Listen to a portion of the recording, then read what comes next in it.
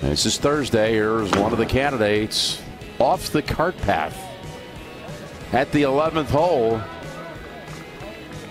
Jason Day able to navigate that.